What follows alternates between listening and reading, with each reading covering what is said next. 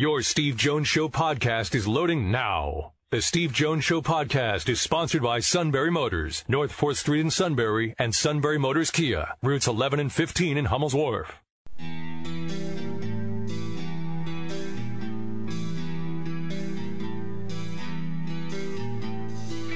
Sports talk where your voice counts. This is the Steve Jones Show on News Radio 1070 WKOK. Now, from the Sunbury Motor Studio, here's Steve Jones.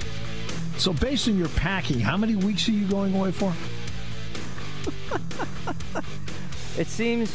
Let's see. We're going to be gone from tomorrow through like Saturday, so it'll it'll seem like a week or a week, I would say. Three days, and you packed a month's worth of stuff. yeah, we tend to overpack, I guess. Nobody noticed.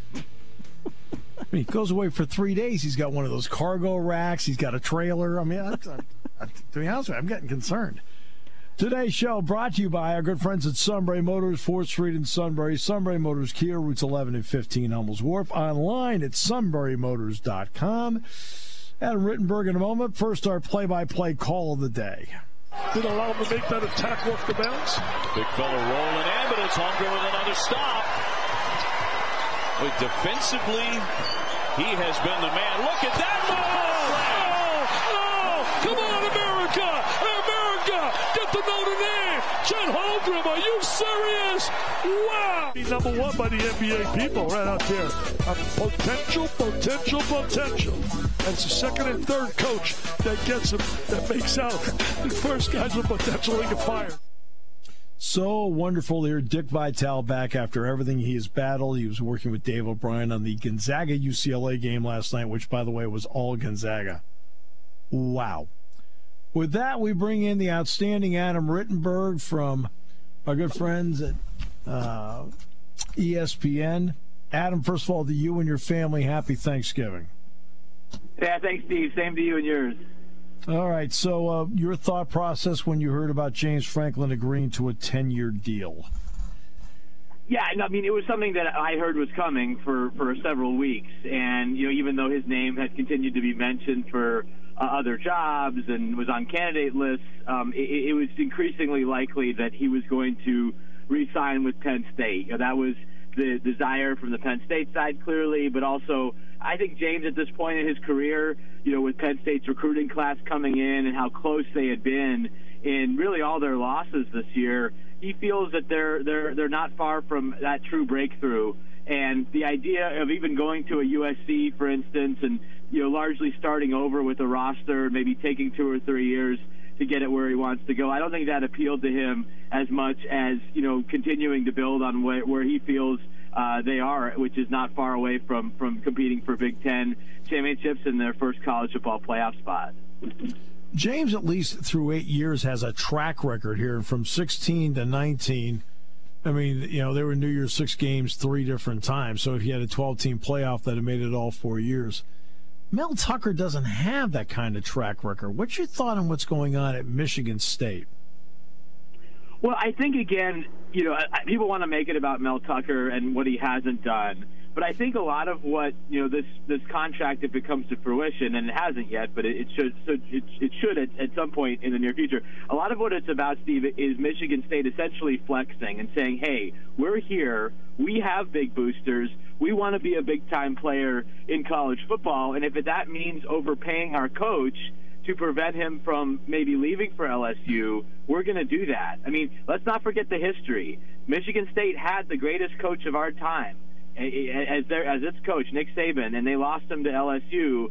And while the program has has rebounded in recent years, it took some time uh, to even be, you know, kind of a relevant program in the Big Ten. So um, I, I think that that was part of this, but just you had some people around that program that, that have this money, and they, they did not want to be, be, be picked by another school that, that, that wanted their coach. They, they want to continue to see where this goes with Mel Tucker. I doubt this will be the last time we hear his name uh, mentioned for other other openings, but uh, they they want to show that hey we we are a serious player in college football, and we're willing to commit to our coach and our program to try to keep up with the Ohio States and the Michigans and the Penn States uh, of of the world, as well as some of the other teams nationally. Which is interesting because uh, let's give the key name. One of the key names is Matt Ishbia. And we're talking about a guy you and I know uh, because he'd been a walk on on the Michigan State basketball team when they won the title in 2000. Uh, the bottom line is you not only need big boosters, you need whales. I mean, not just big fish, yeah. you need whales. And Michigan State's trying to flex it with big whales like Ishbia, Dan Gilbert, people like that. For sure. I mean, and, and, you can make comparisons around the country. I mean, not, you know, Oregon is not a nationally relevant program without Phil Knight. Um, and obviously, that's a different situation because it's such a, a, bigger company. But you, you need these types of people if you want to uh, you know, kind of emerged from being very good to being maybe nationally elite. And again, I don't know if Mel can get them there. I think he did a heck of a job this year um, with the roster and turning that around through the transfer portal. I think he's got an inc- incredible resume as an assistant coach. If you really look at it, he was a defensive coordinator with three NFL teams and also has worked at all the big time college programs pretty much Alabama, Georgia, LSU, Ohio State. So, um, you know, it, that's a resume that a lot of people would, would want to hire at LSU or even for the NFL. And I think the NFL will, will actually be interested in Mel uh, either this year or in the near future. So that's something to watch. But uh, from, from the Ishbia standpoint and from Michigan State standpoint, you know, this is how you elevate your profile as a program. You need the money behind it because there's so much money, as you know, elsewhere. It, you can't keep up if you don't have these types of people that are stepping up financially. No question. Uh, how do you view the patience factor in athletic departments right now? And I'll use this as an example. Florida, as an example, when they go to spring practice, have their fourth head coach in eight years. So, how are you looking at, at, at especially after the pandemic where everybody lost money? Are you surprised at all by the patience factor? Yeah, you know, a little bit. Um, I, I, think there, there, there's just a uh, and, and there, there's an unwillingness, Steve, when things go really bad to ride it out. Where I think that that, that you know in the past there was more of a willingness to, to, to do that, and there is to, at some of the lower profile programs. But I would look at both Florida and Washington as places that went south in a hurry. And in Florida's case, you're talking about an accomplished head coach who was in the SEC title game last year and had a couple of top seven finishes in, in, in the first two years before that. I mean, Dan Mullen's tenure at Florida was successful, but it went south in such a rapid fashion that they couldn't ride it out. They couldn't give him a chance to fix it. And now they're obviously spending a lot of money to get rid of him, and they will spend a lot of money to hire his replacement and that, that, that coach's staff. So um, this is just the era we're in. I, I did think there would be more of an impact from the pandemic, but again, you're, you're not talking about the school's budget. These athletic departments, especially in football, are run by the donors. And when you have donors who are willing to step up, that's how you get Gus Malzahn fired and Tom Herman fired and Dan Mullen fired and Jimmy Lake fired. I mean, the, the, that's how you get these guys uh, to to be ousted so quickly. Excellent point. I agree with you completely about that because I've been somewhat surprised by it as well. Because you know, let's face it, everybody lost a lot of money in outs yeah. to go on top of it. Uh, Michigan, Ohio State. What kind of uh, opinions have you formed midweek on them? You know, I, I, I mean, going to the game, I'm excited to cover it. I've covered a lot of these duds over the years, as you know. Um, yeah. And I'm trying to figure out the game plan for Michigan because it seems like Ohio State, really since the, the Nebraska game, has turned it on. And if Ohio State plays like it did the last two weeks, it won't be close. I, I think for Michigan, you know, their their calling card has been a couple of things: ball control, offense the run game, not turning it over, you know, creating some plays with their defense, Aidan Hutchinson and, and Josh Ross and some of those other playmakers on that side of the ball. So they're going to have to make this a low possession game. They're going to have to win the turnover margin probably by two or more. And they're going to have to keep Ohio State uh, off the field and, and make them work for points. I mean, you, you didn't see that from Michigan State, certainly, and you didn't see that from Purdue. But I think there are some things that Michigan can take from Penn State and from Nebraska defensively that they can apply to to this game and try to get C.J. Stroud a little bit rattled. I think Michigan, you know, may not be as talented as Penn State is across the board defensively, but they're in that range. And if they can kind of take that same game plan, they obviously run the ball. Penn State doesn't Can they can they control the, the clock a little bit and get it into the fourth quarter? Then you're playing at home, young Ohio State team. You get in their heads a little bit, and I do think the intangibles, the you know Michigan's togetherness, their leadership, some you know, culture is just better with this group than it has been for any other Harbaugh team, possibly with the exception of the 2016 team. Yeah, I agree with all that. I, I, I concede exactly what you're talking about with them. Uh, let me weigh in with you, or get you to weigh in on the uh, possibility of a 12 team playoff. Are you for it, or are you against it, or neutral on it? You know, I'm I'm warming up to it. I, I don't think 12 is necessarily needed, and, and what worries me about it is the likelihood that two conferences will dominate the 12. And so, yeah, you're giving uh, you know the group of five a spot, which is great. You know, you're you're having the Pac-12 in there, um, which I think is important because it's a whole region of the country that now isn't going to be represented for the fifth straight year. It, you're nationalizing it, but if the SEC has four and the Big Ten has four, I mean, it's really going to be those two leagues that get all the attention. Uh, mm-hmm. Uh, Notre Dame will make it on a regular basis. I, I, I just think you can accomplish a lot of the things with eight um, that you can with 12 and not have one or two leagues just dominate the selections. But I understand the perspective of Greg Sankey uh, as an SEC commissioner. I understand Jack Swarbrick, the Notre Dame athletic director. You know, this would virtually assure Notre Dame to get in uh, unless they have a, a subpar season uh, or they're going to make it, they're going to make it most years. So um, I understand their view. I just worry that it's going to be you know two SEC, maybe Big Ten dominant. Interesting. Uh, the other part too is if you're at eight, at least initially, you don't get any more money out of it because ESPN does have the rights to all the New Year's Six bowl games. If you go to twelve, I think the the door is open to get more money, and I think right now everybody needs needs more money. They do, and we were just talking about all these coaching contracts. So, yeah. so clearly they need they need some money. And I mean, listen, I love the idea of of, of home playoff games.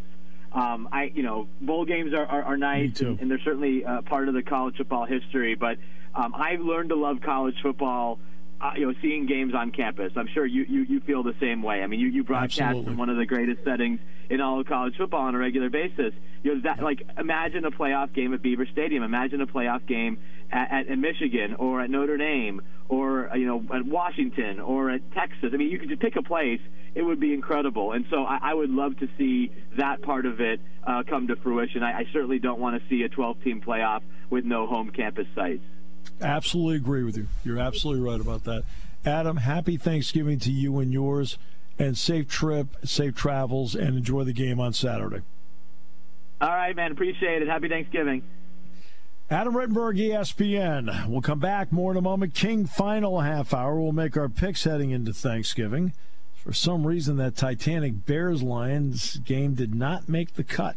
As we continue on News Radio 1070 WKOK, brought to you by Sunbury Motors. The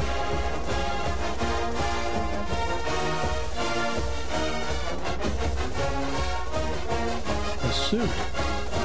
I even had a tagline for it. The suit, the Valley's broadcast tour de force? I don't know. That's a good question. And there's only one I mean, left now. I mean, how do you like the headline? The suit, the Valley's broadcast tour de force.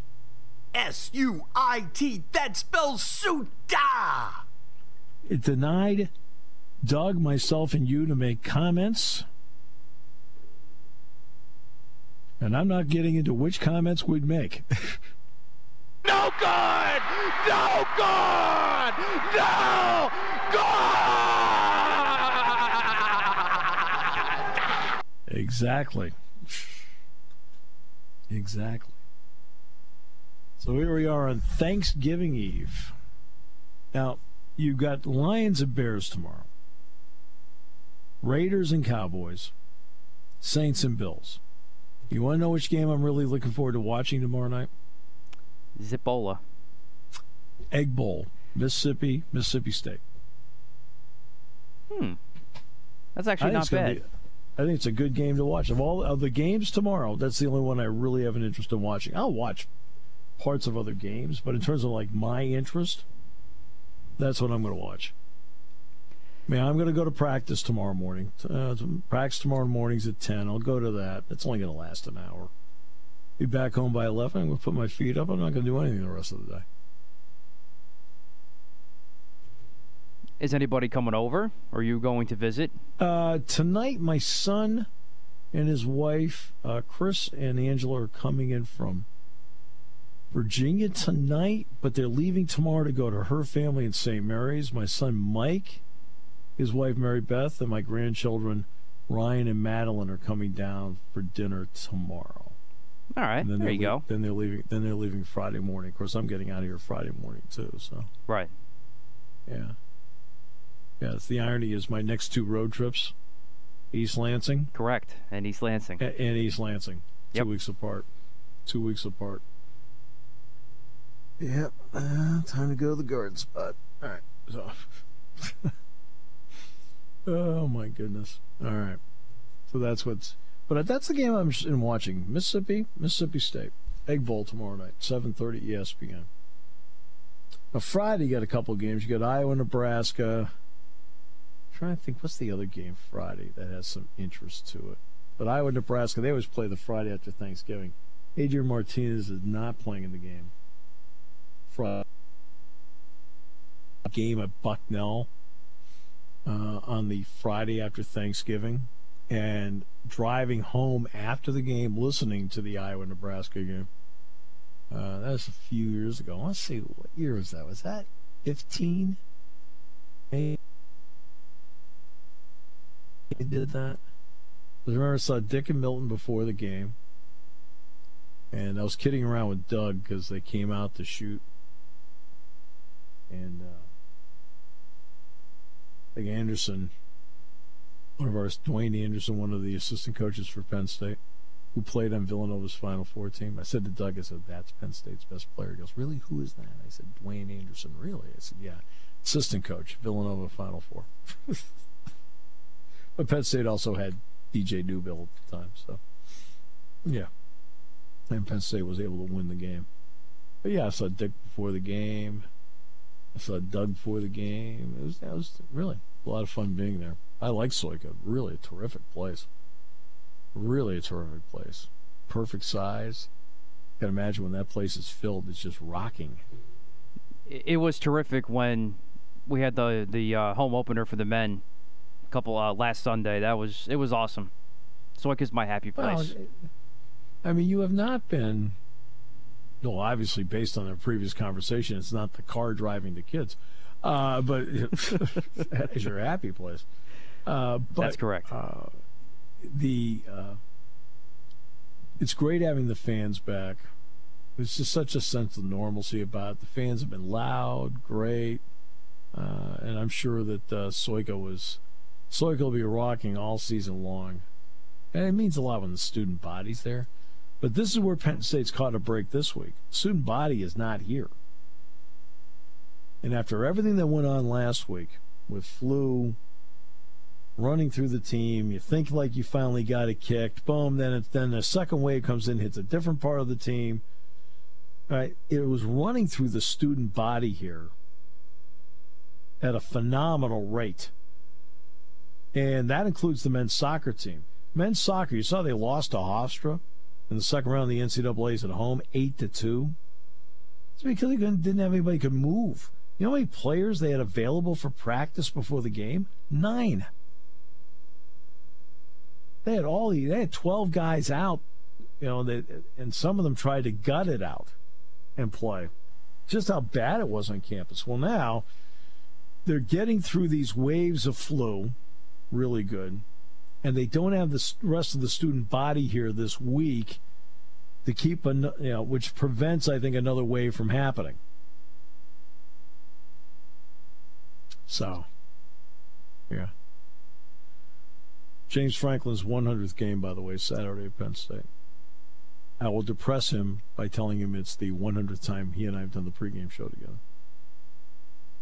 So, and then we'll go about our business. But uh, practicing a little earlier today, and then they're to practice at 10 tomorrow. Then they have a team meal tomorrow uh, over at Pollock at training table um, right after practice. Then everybody, you know, can scatter for a little bit. But then when it comes to the early evening, James wants a full accounting from everybody where they're going to be, where they're going to his house, an assistant's house, going home if they're close enough, whatever it may be.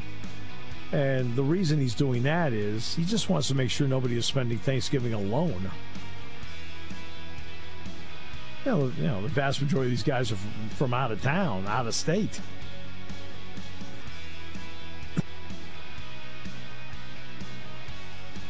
So he just doesn't want them spending time alone, that's all, on Thanksgiving. Then they'll practice Friday morning at 10. Go back, get a quick bite to eat, boom, get to the airport, get up in the air, get to uh, Lansing and into the hotel by about 3.30, and then uh, go through a series of meetings and meals and things like that and get ready for Saturday at 3.34. We're on the beginning at 2 o'clock here on News Radio 1070 WKOK. Today's show brought to you by Sunbury Motors, 4th Street in Sunbury. Sunbury Motors Kia, routes 11 and 15, Hummels Wharf on News Radio 1070 WKOK. Taking your calls at 800 795 9565. This is The Steve Jones Show on News Radio 1070 WKOK. Now, from the Sunbury Motors Studio, here's Steve Jones. So you packed for a month to go for three days? It just seems You like only it. been gone all. two nights. You only been gone two nights. No, we're gone two nights. We're gone Thursday night and Friday night. Come back Saturday.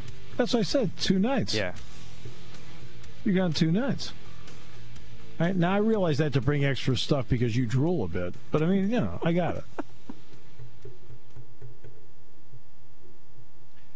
All right. Today's show brought to you by Sunbury Motors, 4th Street in Sunbury. Sunbury Motors Kia, routes 11 and 15, Hummels Wharf, and online at sunburymotors.com. Ford, Kia, Hyundai, the best in new inventory. Great pre owned inventory, all the Sunbury Motors guarantee. Your trade in is worth more than ever. Sales staff that's going to work with you to get you the best deals, save you money, and a fabulous service department to back all of it up. It is at Sunbury Motors, 4th Street in Sunbury. Sunbury Motors, Kia routes 11 and 15 in Hummels Wharf. Online at sunburymotors.com. So thankful to Sunbury Motors. This is our 10th Thanksgiving of doing this show. They've been with us since second one. The Sunbury Motors studio has been a phenomenal experience for us. Phenomenal. All right, let's see. Ladies and gentlemen, no one's more thankful to have a brother like I do because I have as my brother the king. Hi, brother. What up? Not much. Yep. Me neither. At 6:30 tonight, I'm be at a football game, All right. Rockville oh, we're- High School. Oh, really? Playoff? I step, yeah, step granddaughter is a cheerleader, so we're gonna go watch her cheerlead. So, Sweet. That's great. Uh, who's Who- Rockville who's the most famous alumni at Rockville High School? Uh, Bill, um, You got it. yeah, played for the four Romanowski. Yep, Bill Romanowski, Rockville High School. I saw him play one game. You knew he was special. So, Yeah.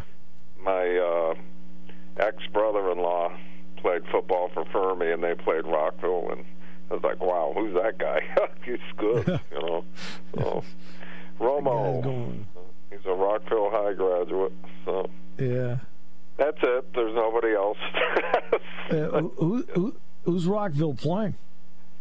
uh, I believe Tolland. Oh, Okay. boy. All right. Yeah, um, it's a playoff. They're both seven and two, so Oh, good. This should be a good one then. good game. Oh, yeah. No, it's really great. They have teams over 500 in the playoff. That's great. Oh, my we're not on the level here that there is out in the Midwest. Oh, there's my little mouse. My little mouse friend's running around. His name's Mike. So, Mike the Mouse. yeah. Great. Okay. so, Yeah, I mean, obviously the level here, Southern Columbia is a really special program, and know, there's a bunch of really special programs in this state. That's for sure. you know, Connecticut gets some pretty good players to come out. I mean, Bloomfield brought out, uh, what's his name? Uh, oh, God. I am so bad. He went to Syracuse. Uh, Freeney. Yeah. Uh, Well, I mean, the Marquise, Mar- here at Penn State, Marquise Wilson's from Windsor. Yeah. Oh, Uh, really? uh, what oh, year? yeah. Uh, Wilson is a is right now is a true sophomore. No, I I'm sorry. He's a true he's a true junior. He's a yeah, true junior. I saw him play. Uh, my stepdaughter's teacher at Windsor High School. Yeah, Yeah, yeah. Marquise a true junior. yeah. Uh, you know, so I mean, you know, Penn State's been able to get some kids out of Connecticut. I mean, Will Levis, who's now the starting quarterback at Kentucky, another Connecticut guy. Really? Why can't they stay and play at UConn? The, Okay, the word okay. has it at UConn, the people in town and everyone is like, if you don't build a stadium on campus, don't even bother because you can't recruit. Remember, I said that years ago to you. Oh, I said it years ago too. I mean, it's just Like- common sense. They have the room to put it. yeah, It's a it's a gorgeous area, and they have the room to put a stadium, but the townspeople don't really want it, obviously. But um, it's very much set up. It's even more desolate than Penn State, and I don't mean that in a bad way. I mean right. I know what you mean. one road in and one road out. I mean, there's literally, you know, uh, one road in and one road out. I live there. Uh, it's Yeah. but they could, I don't care what head coach they bring in there. If it's not, I, it cracks me up. What's Mora ever won? you know, his dad. I know, was, I know you somebody who coached with Jim. I know somebody who coached with Jim. So I don't know him at all. I've never met him. I know a good friend of mine did coach with him on the staff. They said an awesome guy, Yeah, but on game day can be a bit crazed. he's uh, been good at the college so far. You know, going to all the basketball games and passing out jerseys and signing things for people and. But man, you got to have the players. It, it doesn't matter who the coach is if you don't have the players. As long as they give the guy a chance and give him four years, I guess he signed a five-year contract, but um, you got to give him. You got to give a college coach a chance to recruit. Well, well, they, and they don't do that anymore. Texas changes over coaches. Yeah. When It- Florida goes to spring practice, they're going to be on their fourth coach in eight years.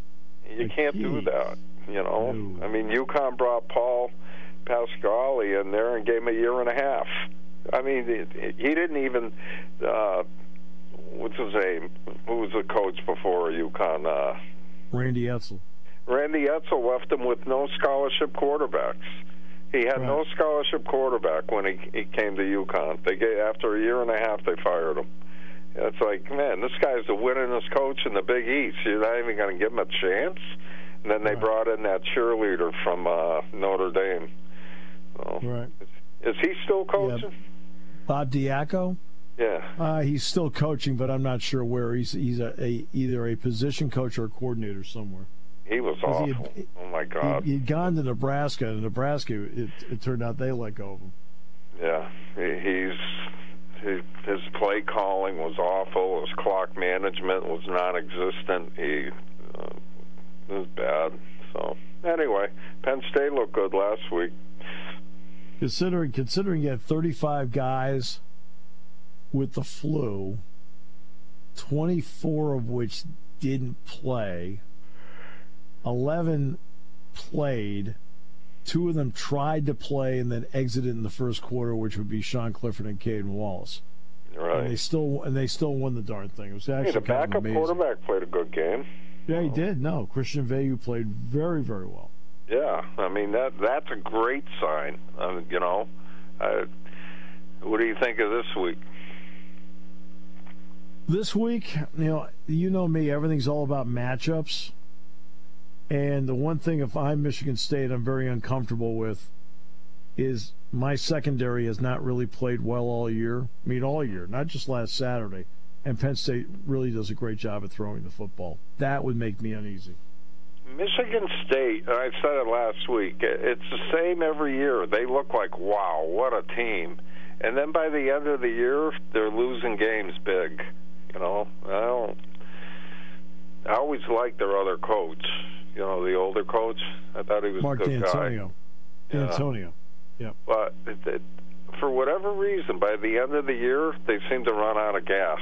They're not the great team that they were all year. You know, part of it's because they don't play the big teams till the end. But Right, exactly. That- That is a big part of it. There's no question. Yeah. So All right, we'll ta- we'll take a break. We'll come back. Picks in a moment on this Wednesday before Thanksgiving on News Radio 1070 WKOK, brought to you by Sunbury Motors. When it comes to car buying, there's the other guy's way, and then there's the SMC way. The other guys force you into a vehicle you really don't want. The Sunbury Motors way lets you take the time you need to browse, ask questions, and take the test drive and think on it. For over 100 years, the Mertz family and all their employees have made your experience the most pleasant one you'll ever have. The other guys won't offer you the best price for your trade, no matter how much they say they will. The SMC way is their promise to provide you with the most money the market shows your vehicle is worth. The SMC way is to offer you all applicable factory rebates on new vehicles and generous discounts. Looking for a pre owned vehicle? The SMC way checks each vehicle in a 200 mile radius to determine the lowest price, then beat it. It's the lowest price promise, just part of the SMC way. The choice is up to you the other guy's way or the SMC way. The SMC way wins every time. Sunbury Motors Company in the North 4th Street Auto Plaza, Sunbury, and at sunburymotors.com, selling more cars and satisfying more customers for over 100 years.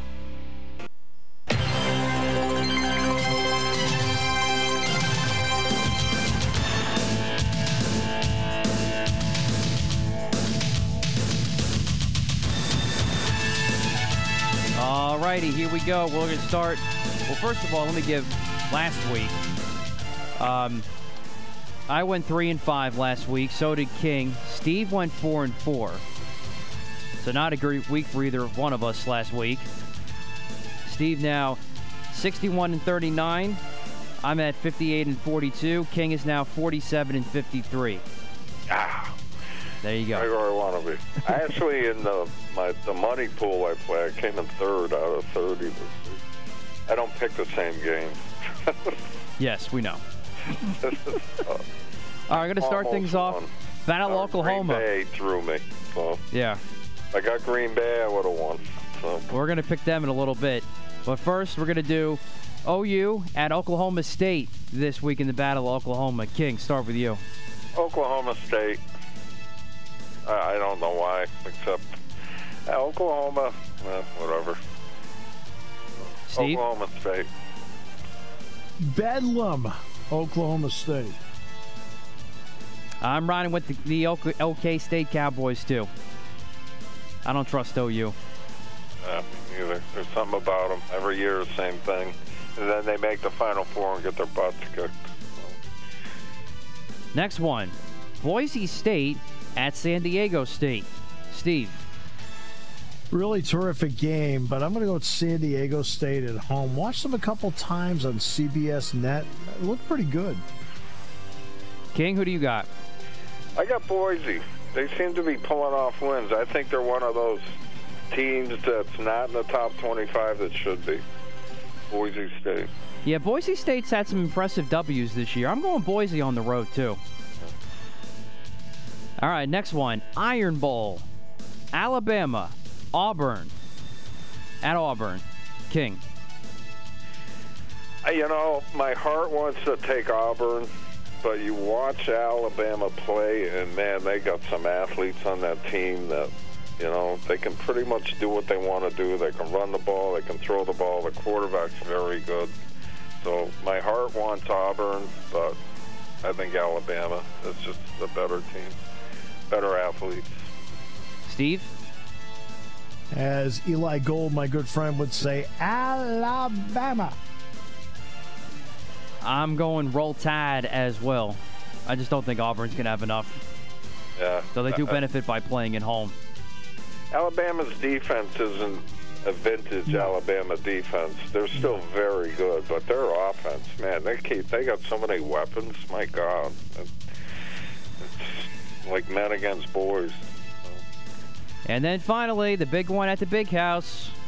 Big noon kickoff on Fox.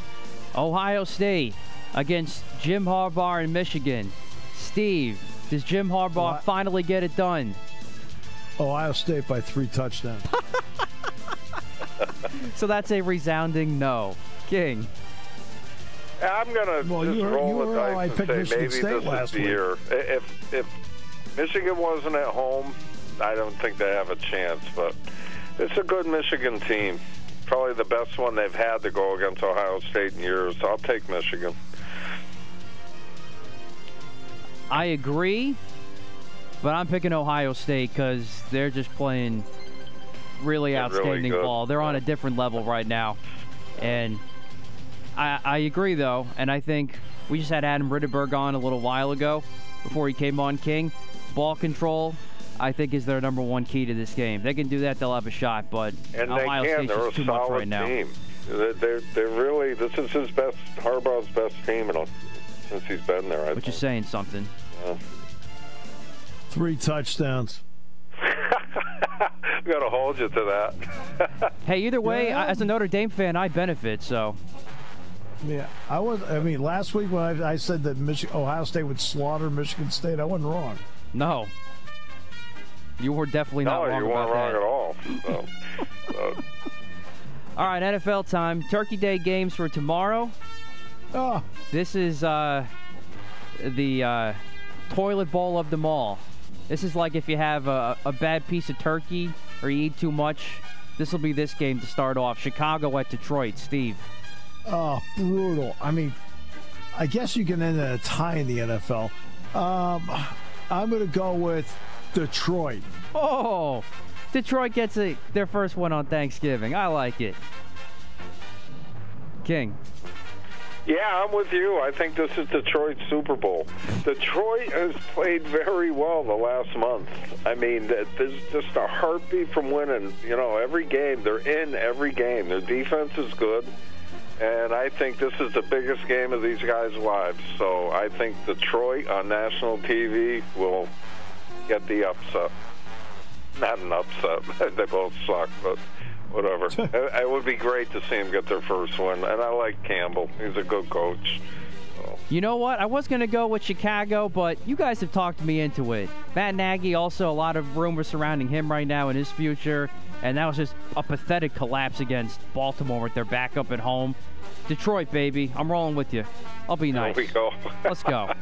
I go Detroit, The Question too. is, will anybody watch it? All right. yeah, I'll watch. Good question. I will watch. Well, actually, I don't know if I'll be able. I might catch the end of it, depending on where we're going to be. Who's blown Detroit out? Eagles No, have. they're, they're in every game. It, it's a.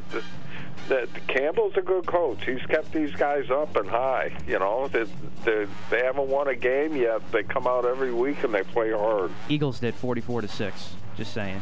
Oh, okay. so I'm wrong. But whatever. All right, next one. Six points.